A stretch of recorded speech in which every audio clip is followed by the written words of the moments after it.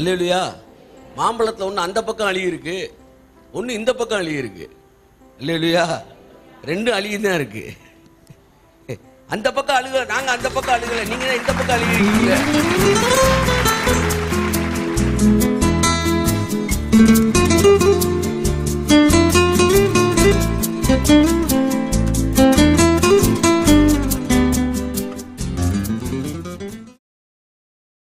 Hallelujah காலை நேர ஆராதனை நமக்கு ஆசீர்வாதமானதாக இருக்கும். இந்த மாதத்தின் முதல் வாரத்தில் நாம் வந்திருக்கிறோம். இந்த மாதம் முழுவதும் நமக்கு ஆசீர்வாதமாக இருக்கும் ஆமேன் ஹலலூயா ஸோ தேவனுடைய சமூகத்திலே நாம் அமர்ந்து செல்வது நம்முடைய வாழ்க்கைக்கு ஆசீர்வாதமானதாக இருக்கும். கிறிஸ்துவுக்குள்ளே நாம் வேர் பற்றி பைபிள் சொல்லுது அவருக்குள்ளே அவர் மேல் கட்டப்பட்டவர்களாய். அவருக்குள் வேர் கொண்டு அவர் மேல் கட்டப்பட்டவர்களாய் இருங்கள். ஆமேன்.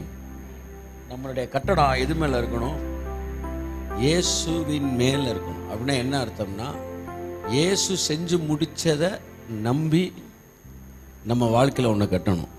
ஹலோ லூயா ஒரு ஆள் மேலே ஏறுறீங்க ஏறும்போது சொல்கிறீங்க ஏ ஸ்ட்ராங்காக பிடிச்சிக்குவியாப்பா அப்படின்னு கேட்குறீங்க அப்படின்னா என்ன அர்த்தம்? அவர் மேலே ஏற போகிறீங்க அவர் ஸ்ட்ராங்கான ஆளாக இருந்தால் தான் ஏற முடியும்.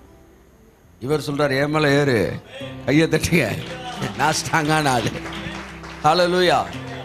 சிலுவையிலே அவர் முடித்து விட்டதை நீங்கள் புரிந்து கொண்டவர்களாய் விசுவாசித்தவர்களாய் நீங்கள் ஒன்றை நீங்கள் என்ன செய்ய வேண்டும்? கட்ட வேண்டும். அது அவர் மேல் கட்டப்பட்டது. சிலருக்கு தங்களுடைய வாழ்க்கையெல்லாம் தங்களுடைய நீதியின் மேல் கட்டுகிறார்கள். அதாவது நான் இன்னைக்கு நல்லா ஜோம் பண்ணியிருக்கிறேன். அதனால கடவுள் என்ன என்ன செய்வார்? ஆசீர்வதிப்பார். இது வந்து தான் மேலேயே கட்டுறது. இன்னைக்கு நீங்கள் ஜோம் பண்ணியிருக்கீங்க. நாளைக்கு நீங்கள் ஜோம் பண்ணாமல் இருக்கலாம். காய்ச்சல் வந்துடலாம் உங்களுக்கு. அப்போ உங்கள் கட்டணம் என்ன செஞ்சிடும் இடிஞ்சிடும் இதுக்கு பேர் தான் மண்ணு மேலே கட்டினது.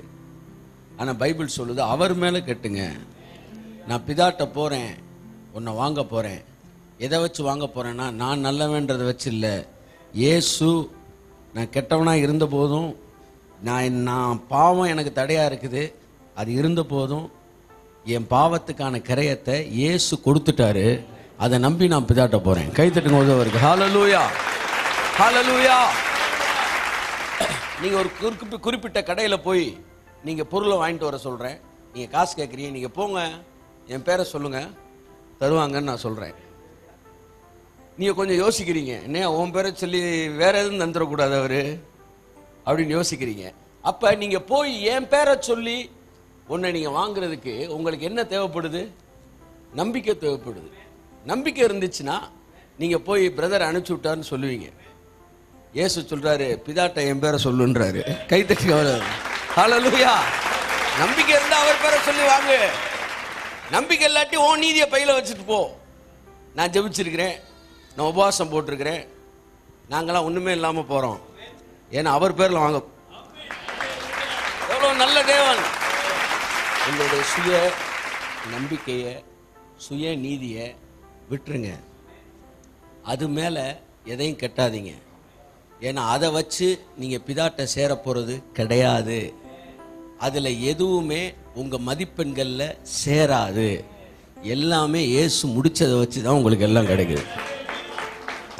ஹலலூயா நீங்கள் கிருபையில் இருக்கிற வரைக்கும் பூரண நீதி உங்களுக்குள்ளே இருக்கும். உங்கள் நீதின்ற உணர்வில் ஏதோ ஒரு பிரச்சனை வருதுன்னா நீங்கள் பாவத்துக்குள்ளே போயிட்டீங்கன்னு நான் சொல்ல மாட்டேன். கிருபை விட்டு போகிறீங்கன்னு நான் சொல்கிறேன் நீங்க கிருபை விட்டு விலகிட்டீங்க. நீ கிருபையில் இருக்கிற வரைக்கும் நீங்கள் நீதிமான் என்கிற உணர்வு இருந்துகிட்டே இருக்கும். அந்த நீதிமான்ற உணர்வு போகுதுனாலே என்ன அர்த்தம்னா நீங்க கிருபையை விட்டு விலகுறீங்க. உங்களுடைய சொந்த எதை நம்புறீங்க? உங்களுடைய சொந்த நீதியை நம்புகிறீர்கள். You are believing your own righteousness அப்ப எப்படி கண்டுபிடிக்கலாம்னா அந்த பூ வாடுற மாதிரி உங்க மூஞ்செல்லாம் அப்படியே வாட ஆரம்பிக்கும். அப்பயே கண்டுபிடிச்சிடலாம். பார்ட்டி தன்னுடைய சொந்த நீதி என்ன செய்கிறாரு நம்பிட்டு ஓடிக்கிட்டு இருக்காரு. இன்னைக்கு ஏதோ பிரச்சனை ஆகிருக்கு அதனால் மூஞ்சி என்ன செஞ்சுருக்கு? வாடி இருக்கு. இவர் ஏன் ஃப்ரெஷ்ஷா இவர் எப்போவுமே நித்திய நீதியில் இருக்கிறாரு. ஹலலூயா ஹலலூயா நீ தொண்ணூறு மார்க் எடுத்தாலும் அவருக்கு ஃபெயில் தான். இருபது மார்க் எடுத்தாலும் ஃபெயில் தான். அவர் பார்க்கும்போது ரெண்டு பேரும் ஃபெயில் பார்க்குறாரு. நூறு மட்டும்தான் அவருக்கு பாஸு அதனால் நீங்கள் தொண்ணூறு எடுத்துட்டீங்கன்றனால உங்களை அவர் விட்டுற போகிறது கிடையாது. உள்ள. அவர் நூறு இருந்தால் தான் விடுவார். நூறு இருக்கணும்னா ஒரே வழி இயேசுக்குள்ளே வந்துடுறது தான். கையை தட்டி வந்தவருக்கு ஹலலூயா ஹலலூயா அதனால் உங்கள் நீதியை நம்பாதீங்க. உங்கள் நீதியை நம்பி கடவுள்கிட்ட வராதீங்க. இயேசு எனக்காக ஒன்றை செஞ்சு முடித்தார் நான் செய்ய முடியாத செஞ்சார். அவர் பார்க்கும்போது இந்த அறுபது மார்க் எடுத்தவன் முப்பது மார்க் எடுத்தவன்லாம் பார்க்க மாட்டார். ஐம்பது பேர் ஃபெயிலு ஃபெயில் ஆனவன்லாம் ஓரமா நில்லுன்னு தான் சொல்லுவார். ஒரு பொண்ணை கூட்டிட்டு வந்து கல்லறியறைக்கு வந்தாங்க. பாவியான ஸ்திரீன்னாரு. அவர் கண்ணை இப்படி திறந்து பார்க்கற அம்புட்டு பேரும் பாவியா இருக்கிறாங்க. சார் பாருங்க சார் ப்ளூ கலர் நான் கண்ணை திறக்கிற அம்புட்டுமே ப்ளூ யாரை கல்ல எறியணுன்றீங்க அம்புட்டு பேரையும் எறியணுமேடாப்ப அப்படின்றாரு. அதுதான் உலகம். அது தெரிஞ்சுக்கங்க. நீங்க நினைக்கிற மாதிரி நல்லது கெட்டதுன்னெலாம் அவர் பார்க்கறே இல்லை. அவரை பொறுத்தவரை நூற்றில் ஒன்று குறைஞ்சாலும் அம்புட்டும் கெட்டது தான் இல்லையா மாம்பழத்தில் ஒன்று அந்த பக்கம் அழி இருக்கு இந்த பக்கம் அழி இருக்கு இல்லையா ரெண்டும் அழுகி தான் இருக்கு. அந்த பக்கம் அழுகல நாங்கள் அந்த பக்கம் அழுகலை நீங்க தான் இந்த பக்கம் அழுகிருக்கீங்களே அப்புறம் என்ன? அல்லையா சொல்லுங்க. ஆகையால் அவர்கிட்ட வரும்போது பிதாவுக்கு பார்வையில் பூமியில் எவனுமே நல்லவன் பைபிள் சொல்லுது நல்லவன் ஒருவனும் இல்லை. பக்கத்தில் கை எப்படி சொல்லுங்க. ஒன்னாம் தேதி அது முத வாரம் அது. நல்லவன் ஒருத்தனும் கிடையாது. ஹலலூயா அதனால அந்த அவர் கெட்டவர் சார். இவர் கெட்டவர் எவர் கெட்டவர்? அம்புட்டு பேரும் கெட்டவர். பைபிள் சொல்லுது சிலருடைய பாவங்கள் வெளியரங்கமாக இருக்கிறது சிலருடைய பாவங்கள் மறைவாயிருக்கிறது. இருக்கிறது ரெண்டே பேர் தான் ஒன்று திருடி மாட்டிக்கிட்டே ஒன்னொருத்தவன் திருடி மாட்டாதவன். அதாவது அந்த பொண்ணை கூட்டு வந்து நிப்பாட்டினப்ப அவர் சொல்றாரு அது மாட்டிக்கிருச்சு நீங்க மாட்டல. நம்ம சொல்ற மாட்டாதவங்களாம் நல்லவங்க. சொல்றீங்களா இல்லையா? இல்ல.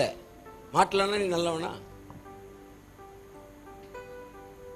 என்ன சொல்ல வரேன்? நீங்க எப்ப எல்லாரும் பாவி என்கிற ஒரு கான்செப்டுக்குள்ளே வரீங்களோ அப்போ தான் கிறிஸ்துவுக்குள்ளே நான் நீதிமான்ற கான்செப்டுக்கே வருவீங்க.